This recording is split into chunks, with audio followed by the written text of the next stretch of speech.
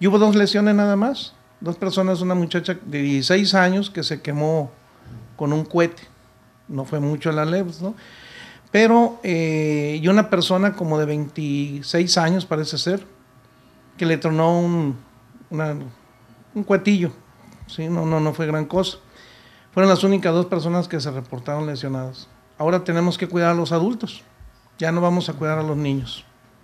Y el mensaje, pues, es que esperemos de que cambiemos esa cultura.